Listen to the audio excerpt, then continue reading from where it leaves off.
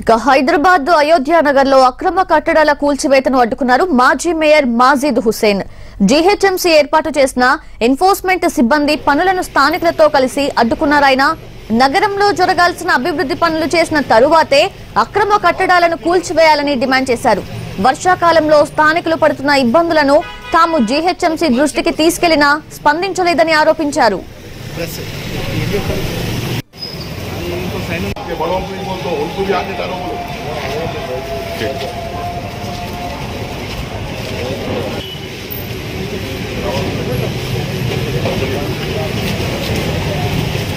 भाव लिस्ट क्यों लाने थे फोटो तो देखो సార్ డిమాలిషన్ కోసం సార్ సార్ ప్రెస్ के बड़ों को भी बोल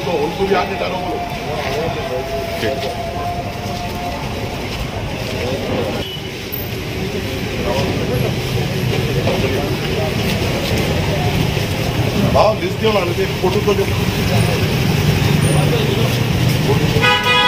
సార్ డిమాలిషన్ కోసం సార్ సార్ ప్రెస్